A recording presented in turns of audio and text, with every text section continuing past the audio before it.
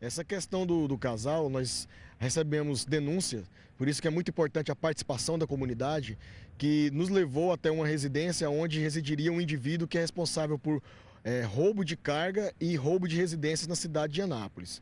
É, chegando ao local, foi feita a abordagem ainda do lado de fora na, ao indivíduo.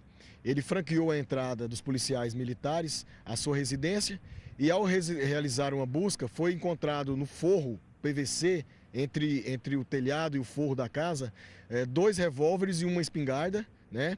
E também no interior da residência vários objetos eletroeletrônicos, como celulares, televisão, computadores. E a esposa dele também foi presa no local por ter também participação no cometimento desses crimes.